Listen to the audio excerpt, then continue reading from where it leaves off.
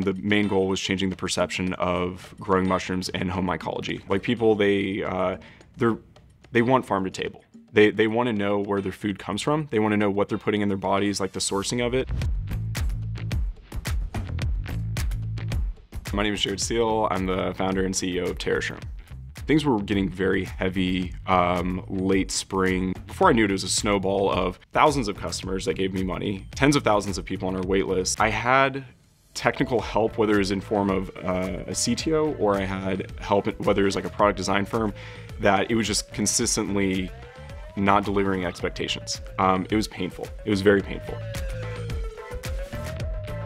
I really wanted someone that I could truly, truly work with. Pretty late one night, I put up a posting on Upwork saying I need an electrical engineer who can do exactly this. Um, within 48 hours, I had quite a few people respond. Had I not met James on Upwork, it was like the first day, there was like certain times that James would kind of like shush me because he's like, I'm, I'm working. Like I could just so tell it was like the dedication, the commitment to like achieving this milestone was uh, top priority because I felt a sense of urgency that I didn't really actually even have.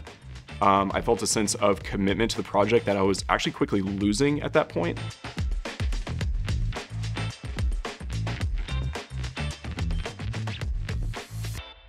My name is James Elliott. So I first became aware of TerraShroom about a week after I graduated, and I was still looking for what I wanted to do, and it, it kind of was apparent to me I didn't really want to go the traditional W-2 uh, job route.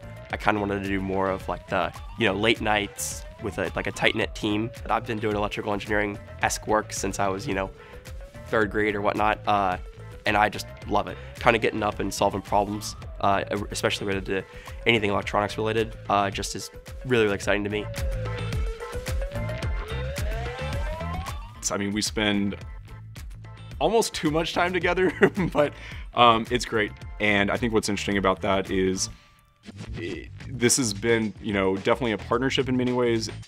He was the yin to my yang, and um, it, it, was like there was such diverse yet complementary skill sets that um, that's truly what makes every team really, really strong.